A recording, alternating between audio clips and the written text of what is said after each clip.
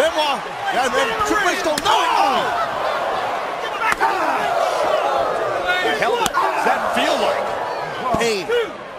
Oh, flat out pain. Man, just takes the breath out of you. Benoit again. Focusing. Oh, man, that's, that just hurts.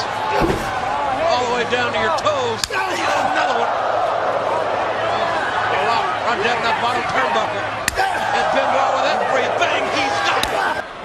Looking at the future of the WWE here, ladies and oh, gentlemen. No doubt about it. Oh! God, did you hear that? That will leave a mark. Oh, you ain't lying. Can't listen to this. Listen, this is another one guaranteed. Listen. and Eddie, oh, wanted to trade chops with the Wolverine. Oh, oh, my God. Did you hear that? How could you not hear it?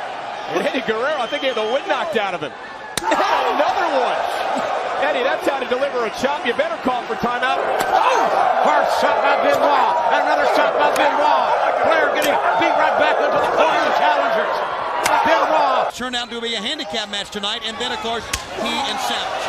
And Thursday we're going to Fairfax, Virginia, right? Yes, we are. I bet this match will too. They'll probably fight all the way there on the interstates, cross country.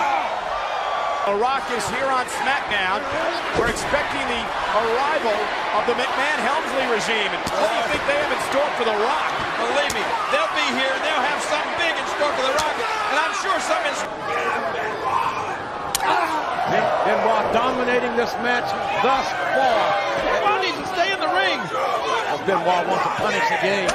He wants to beat Triple H in the ring. Benoit injured that nose when he ran into the championship goal. Benoit will fight you and hurt you. His crowd in Bakersfield wants A-Train to shave his back, and those chops having Have you ever seen the motorcade that Vince McMahon has? Oh, traffic just has to pull over to the side when he comes down.